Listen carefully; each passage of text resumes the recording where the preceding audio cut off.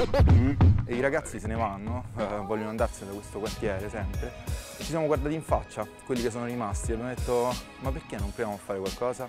In tutto siamo riusciti a raccogliere sui 1500, dovremmo arrivare a 2000 euro, che ci permetteranno di fare 20 interventi.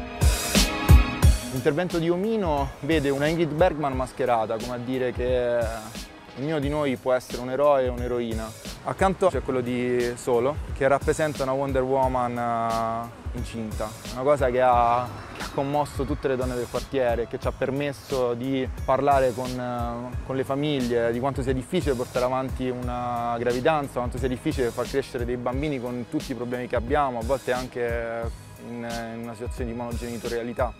E poi arriviamo a, con quello che è stato definito il nostro Caravaggio, dove Luis uh, ha reinterpretato un frame del film molto importante. È una meraviglia. La periferia è una condizione umana, è più periferico dove manca la poesia,